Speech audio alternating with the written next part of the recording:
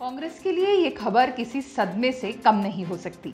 और बीजेपी के लिए तो मामला मैदान मारने सरीका है।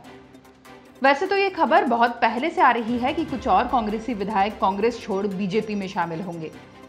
संभावनाएँ थी कि बुंदेलखंड से कम से कम तीन और महाकौशल से एक कांग्रेसी विधायक टूटेगा। पर यह किसी ने नहीं सोचा था कि ये विधायक छिंदवाड़ा ज़िले की किसी सीट से होगा। ये वो जिला है जहाँ पूर्व मुख्यमंत्री कमलनाथ का दबदबा रहा है। जहाँ से वो लगातार कई बार सांसद रहे। उनके विधायक का चुनाव लड़ने के बाद इस सीट के वारिस उनके बेटे नकुलनाथ बने। छिंदवाड़ा ज़िले में सात विधानसभा सीटें हैं। छिंदवाड़ा, सौंसर, चौरई, जुन्नारदेव, परासिया, पांडुरना और अमरवाड़ा। जिसमें से कुछ पर बीजेपी और कांग्रेस का बराबरी का कब्जा रहा है। पर पिछले चुनाव, यानी कि साल 2018 के चुनाव में, छिंदवाड़ा ज़िले की सारी सीटों से बीजेपी का सुपड़ा ही साफ़ हो गया। ये सारी की सारी सीटें कमलनाथ की झोली में ही गिरी। अब खबर है कि बीजेपी ने इस गढ़ में सेंध लगाकर एक विधायक को तोड़ लिया है।